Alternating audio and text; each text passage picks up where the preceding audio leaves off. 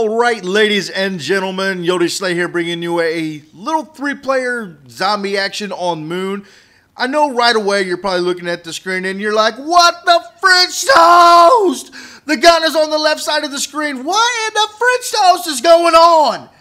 All right, calm down, calm down. Every time I do this, somebody always thinks that I'm actually playing the game like this, and I'm not. I actually edited it, edited it to where it's like this.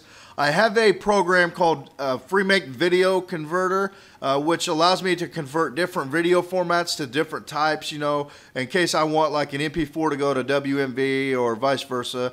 Um, it actually has an editing option within it to where you can like flip the image, uh, like say in this case backwards, I guess. You can also flip it upside down and stuff like that and then you just kind of re- render it, convert it to that to like this, what you see now.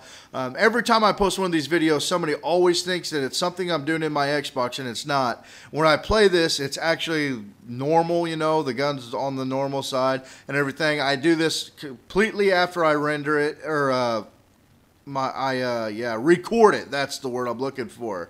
Uh, so yeah, I posted some multiplayer games doing this, and a lot of people think it's pretty cool. It does mess with your mind.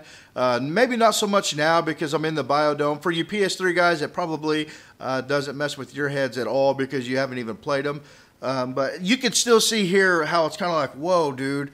You know, especially when I get in the holes later on when we start working our way towards the spawn, you'll think you should be turning one way when you got to turn the other. And dude, it's just, I think it's really cool. I'm actually thinking about doing a whole complete live com and then flipping it like this just for uh, shits and gigs and I think it would be pretty neat. You know, I'll actually try to do like a challenge to around 30 and then flip the entire thing, and then it will really screw with your heads once you see me running around the map and stuff like that. I'll be running around the mountain when he comes. You'll be coming around the mountain when he comes. Don't ask me where that came from. I apologize. Uh, but anyways, guys, I want to talk about my little Earth video that I posted up earlier this morning. Um, I'm getting two little like comments, and I want to address those issues on why I still believe Area 51 is not on Earth. Uh, the first thing people keep telling is is Area 51 actually broke off of the Earth after uh, the rockets exploded, and this is why I'm going to go into like why I don't believe that is what happened. Um, okay, say the say Area 51 did break off as a huge chunk off of the Earth and is just floating freely out in outer space. Okay, first off, there would be no gravity because it's essentially just a huge rock, and you know it's not connected to the Earth anymore, so there would be no gravity. There would be no atmosphere, and so therefore no oxygen. But there is oxygen, so where are we? Like, I don't. I'm not saying that I don't really know what's going on. This is why I'm coming to you guys for help on this. And this is where it's really going to start getting trippy because you think I should turn one way, the stakeout's over on the left, and all that good stuff. But anyways, that's why I don't think it broke off of the earth. You know, there's no gra or there is gravity, but if it was just a big rock, there would be no like gravitational pull because it's not connected to the earth. There's also no atmosphere, so there would be no gravity. Uh, the second thing I'm hearing is that Treyarch was just too lazy uh, to take it out. They actually used the same backdrop as the sky on Moon itself. But come on, guys.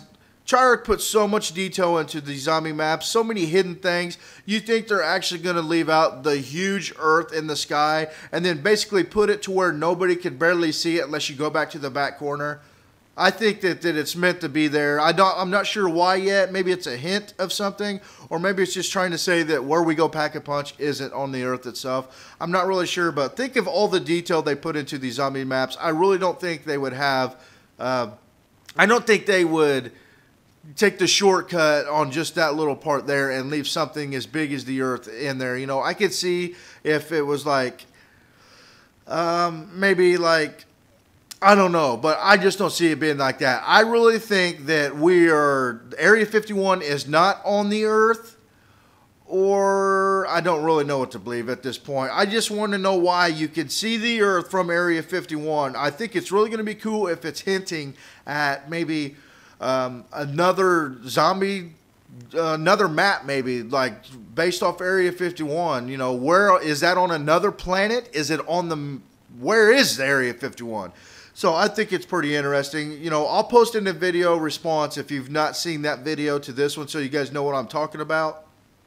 I, you know, it's definitely, I just don't see Treyarch being that lazy. I've said that now like 20 times. So I promise to you, I will not say it again.